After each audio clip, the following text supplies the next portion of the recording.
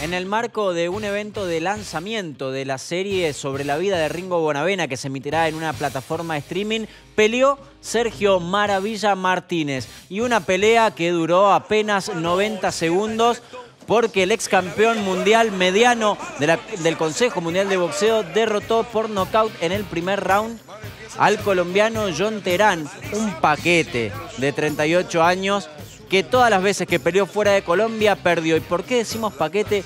Porque miren ustedes, ¿alguna vez han visto en la historia del boxeo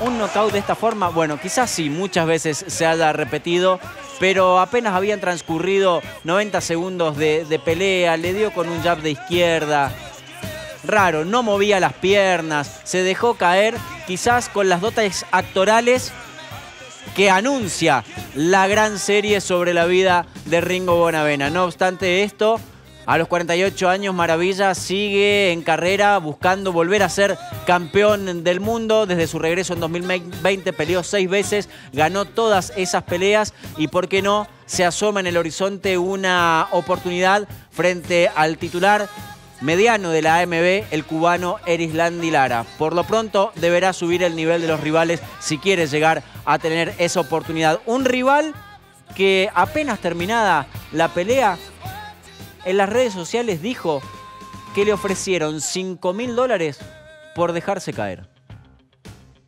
En la pelea yo venía por 3 mil dólares en la pelea. Libre 3 mil dólares.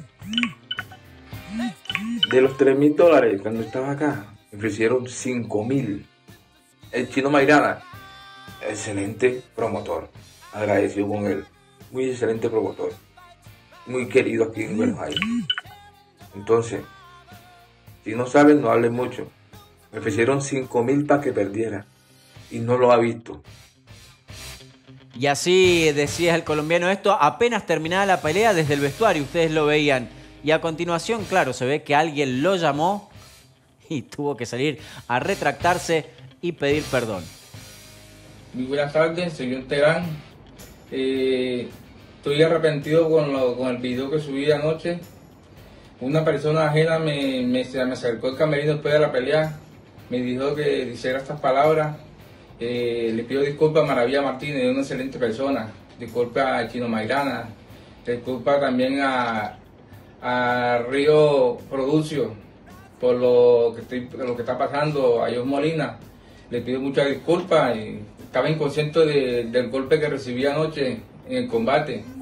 Maravilla, te pido disculpas, te pido que por favor siga adelante, te tiene un futuro teniendo 48 años. Mm, una persona que me, se me acercó y me dijo que dijera esas palabras. Bueno, cometí ese error por rabia y por la impotencia y no poder ganarle a usted. Eh, me sentía mal del golpe que recibí. Eh, le pido muchas disculpas de corazón, perdóname. Eh, Chino Mairana, le pido disculpas. Río Producio, le pido disculpas. Molina, te pido disculpas por todo lo que pasó. Gracias.